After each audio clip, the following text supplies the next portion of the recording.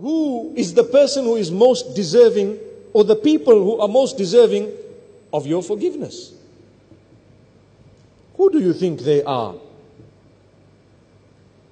Who do you think they are? Your family members and those who are the closest in relation to you. They are the ones who deserve your forgiveness first. They were placed close to you to test you. That's all. Allah chose them as your relatives. Today, your husband does one mistake, the marriage is over. Forget about everything else. Your car has a small dent, the car is gone. It's not a write off.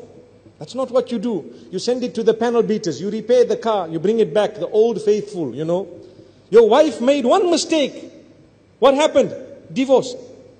What was the reason? Ah, there are 20,000 other girls running behind me.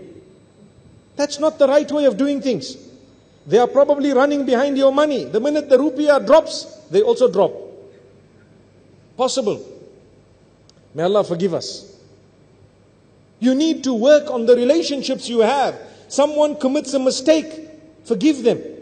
T- today's advice to married people is when the spouse makes a mistake,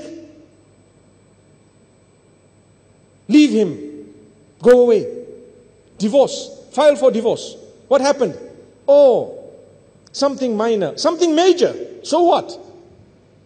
But as a believing female, a believing male, when your spouse has done something wrong, you need to sit and seek Allah's forgiveness to begin with. Both of you.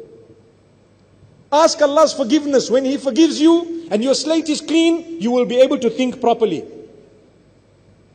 When you yourself have committed so many sins and you are not with a clean slate between you and Allah subhanahu wa ta'ala, how do you expect to think in the correct manner?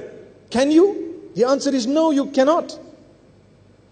So if you seek Allah's forgiveness to start off with, before you even retaliate and respond, you will be guided by Allah. Calm down. It's a very big matter. Calm down. And then see what they are saying. If they show a speck of remorse, you need to extend your hand, the hand of mercy. Yes, if there's no remorse whatsoever, you might want to deal with it differently. But if there is a speck of remorse, who from amongst us does not make mistakes?